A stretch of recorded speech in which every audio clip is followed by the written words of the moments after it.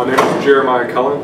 I'm at PA Underground and it was phenomenal. This event is perfect if you're trying to get your foot in the door. It's perfect if you're trying to just learn more about the industry you're in or you want to be in. If you're already have been working as a PA, it never hurts to like, you know, go back to boot camp a little bit, iron out your skills. There's always room for improvement and there's opportunities everywhere. Never give up. Don't stop. Put it out there and we'll come back to you in the universe. Uh, be humble.